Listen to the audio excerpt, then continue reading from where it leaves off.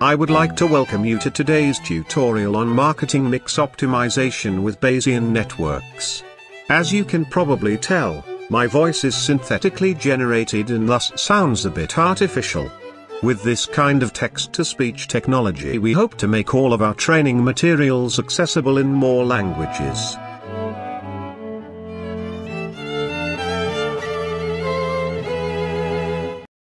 To begin with our marketing science example, we first load a CSV file with the data import wizard into BayesiaLab. Alternatively, we could directly connect to a database, but for this demonstration we choose a simple flat file format. BayesiaLab's data import wizard now provides us with an initial overview of the data file. We can see that we have the marketing related variables, such as sales, radio spend, TV spend, hits, impressions, all shown in columns. Each row represents an observation. The next step in the import process relates to missing values processing. The small question marks in the table header indicate that several variables contain missing values. The amount of missing data is also shown in the information panel. Given that we have missing values in our dataset, we need to define the missing values processing approach. We choose static completion for our example and we will elaborate further on this choice shortly. In BayesiaLab, all continuous variables must be discretized, or binned, at the time of data import.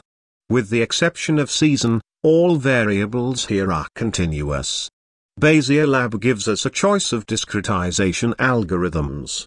As our particular dataset was previously normalized, we apply the equal distances discretization with five intervals. Upon clicking Finish, BayesiaLab now creates a new internal representation of our original dataset. All variables are now represented as nodes in the graph panel. BayesiaLab can also display a summary of the discretizations performed. Double-clicking on any of the nodes brings up the editor. Among many attributes that can be edited, we can see the interval ranges of the selected node. By hovering over the little question mark while holding the I key, we can see the number of missing values for each node. We now switch into the validation mode and then highlight all nodes in the graph panel. On the right-hand side of the screen are the monitors each representing a node and showing a histogram of its value distribution. In BayesiaLab, information theoretic measures, rather than statistical measures, are central to the learning algorithms. In particular, entropy is used to search for networks that best represent the underlying data. Put simply, entropy represents the uncertainty regarding the state of a variable. For our example, we show the entropy of the sales variable.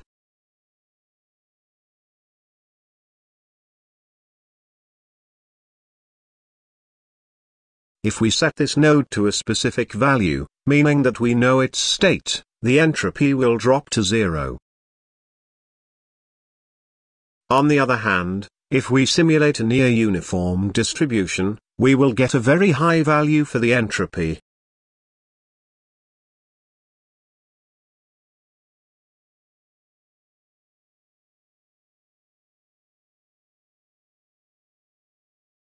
A closely related concept is conditional entropy.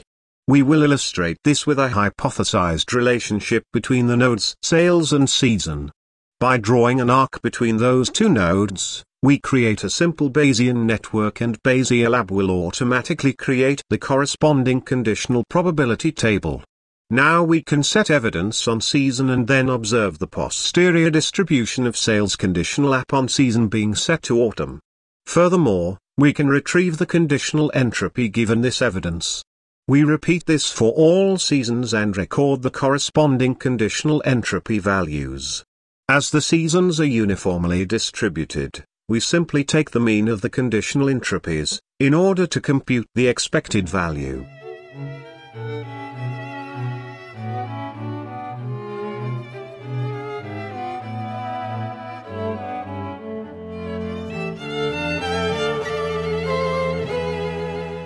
Subtracting the expected value of the conditional entropy from the marginal entropy, gives us the mutual information.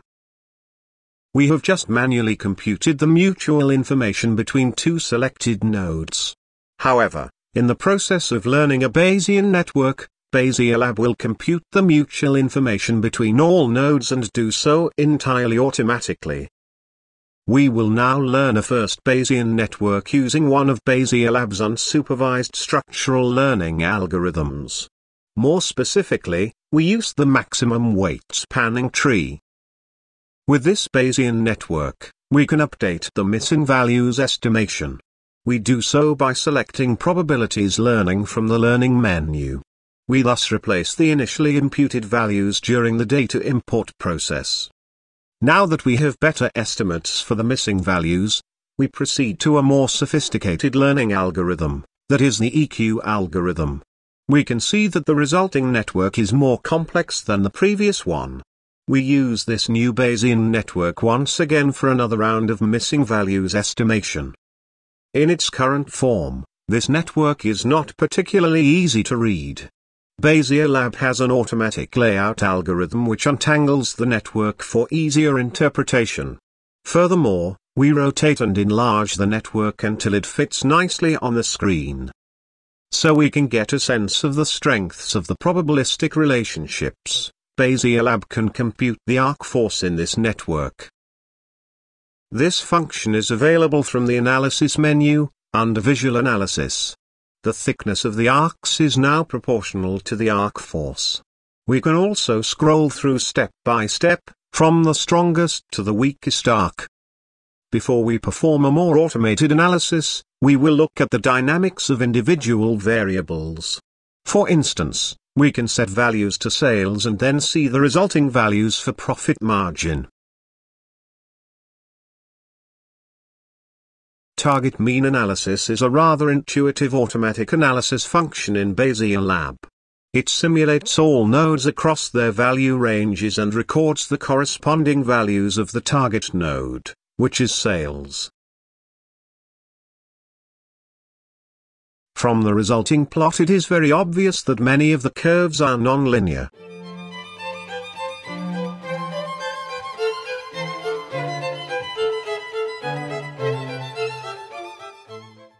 It is very important to note that what we just performed was strictly observational inference. However, to predict the consequences of actions we have not yet taken, we need causal inference. Ultimately, we want to know what would happen, if we were to intervene in this domain, and actively set the marketing instruments to different levels, rather than just observing them at such levels. We can facilitate this kind of causal simulation by target means analysis with direct effect.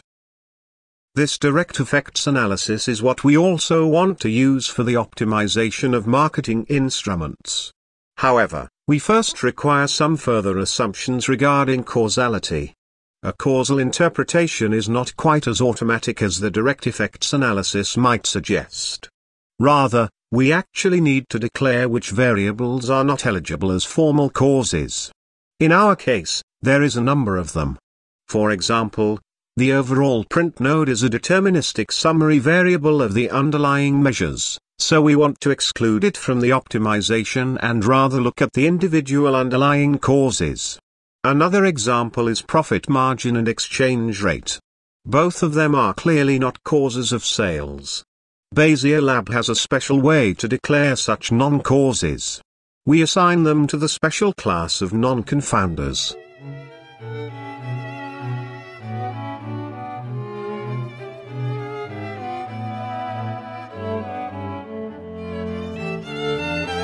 Beyond making them non-confounders, we also color-code them for easier identification in the network.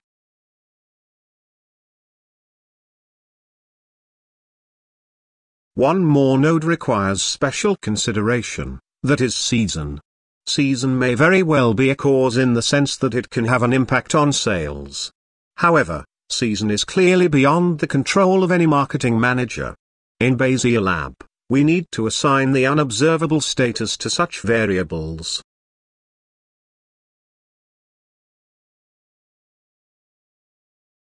As mentioned earlier, all variables had already been standardized prior to importing them into BayesiaLab. In order to optimize the levels of these marketing instruments, we need to convert them into a common scale in terms of the resources they use. Typically, this would be a currency, for example dollars or pounds. We can use the cost editor to assign specific dollar amounts for one unit on the respective scale of each node.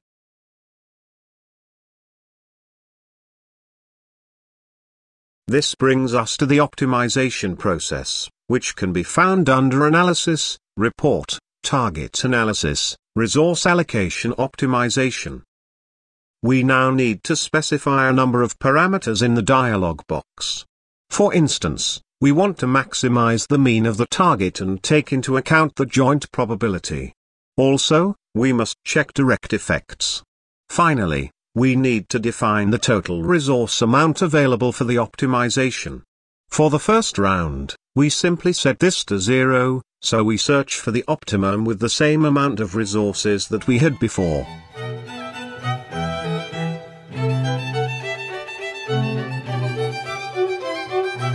Once the optimization algorithm finishes, we obtain a report with the recommended changes to the levels of the marketing instruments we see that the recommendation is to reduce the online spend and reallocate these savings to other media. The value mean column reports the simulated sales given the new marketing mix. We now repeat the optimization process, but we increase the budget by 50,000.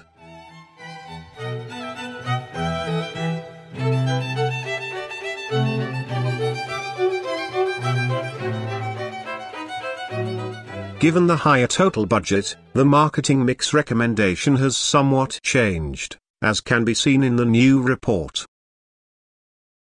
In the real world, there are often further constraints affecting the optimization. Perhaps there are long-term contracts in place that do not allow for the modification of spend levels. In our example, we will now fix the online spend level, which we define via the variation editor we simply set the positive and negative variations to 0%.